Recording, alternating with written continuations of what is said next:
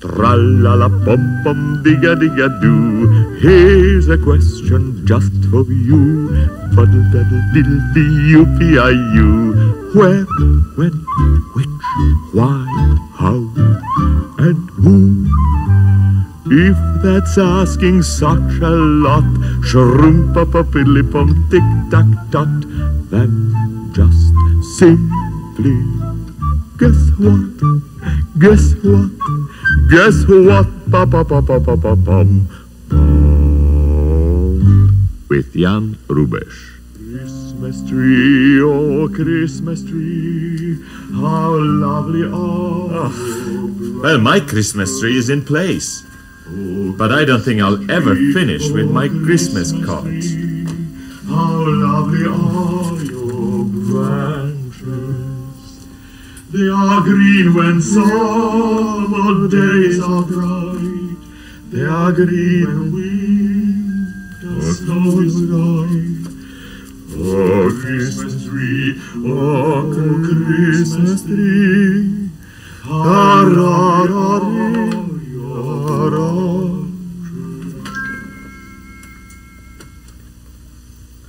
It seems December comes and everything on the radio is just one long Christmas broadcast.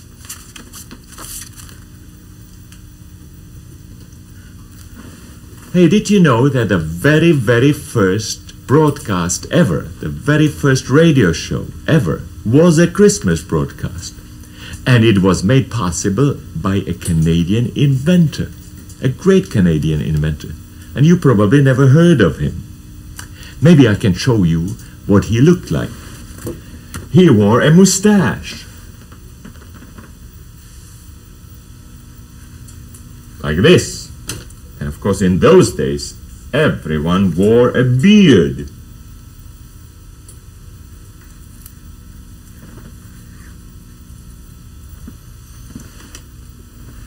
And he wore spectacles of this kind. Of course, he had a curly hair, so I'll have to use a wig. Oh, yes, he was great in more ways than one. He was great around his waist. So I'll just put a pillow in my trousers. I don't think I'll ever get it in. Oh, I didn't tell you his name. His name was Reginald Aubrey Fessenden. And he was the first man ever to figure out how to send the voice through the air and catch it again on a radio. He worked hard for years on his invention. And when finally he was ready to send out the very first show, the holiday season was just coming up. So he decided that the very first broadcast will be a very Merry Christmas program. Everything seemed to be working all right. Maybe one more check on the tower that was to send out the signals. To do that, Mr. Fessenden had to climb through a little opening under the tower. Guess what happened? Poor Mr. Fessenden got stuck in the opening. He wiggled and wriggled and Help! Help! he shouted. His friends rushed to him and struggled and struggled, but could not get him out. Luckily, one of his helpers had a great idea. He took Mr. Fessenden's coat off, his vest, and his shirt, and his trousers too, and oiled and greased Mr. Fessenden from top to bottom. Mr. Fessenden popped from the hole like a cork from a bottle. Meanwhile, back at the studio, Mr. Fessenden's assistant had already begun the broadcast by playing a famous composition by Handel on a phonograph. He was getting more and more nervous by the minute. The program had to go on, Fessenden or no Fessenden. Now was the assistant's turn to sing a Christmas song.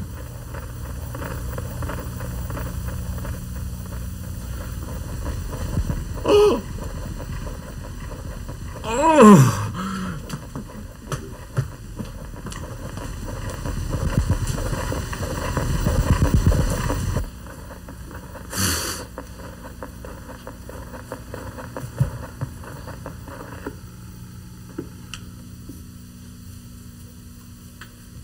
Well, dear ladies and gentlemen, on this solemn occasion of our first broadcast, I'm sorry to inform you that you have to be contented with my singing and playing.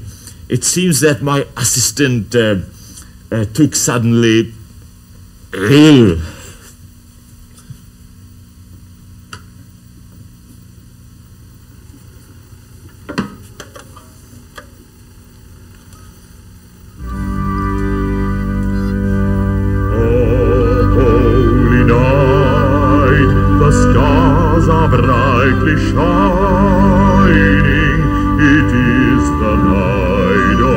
the dear Saviour's birth.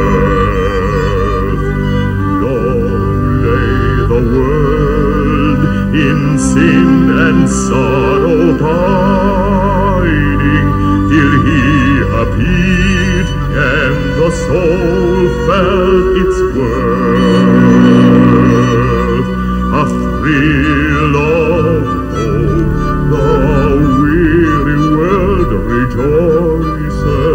Orianda breaks a new and glorious morn. All of your knees,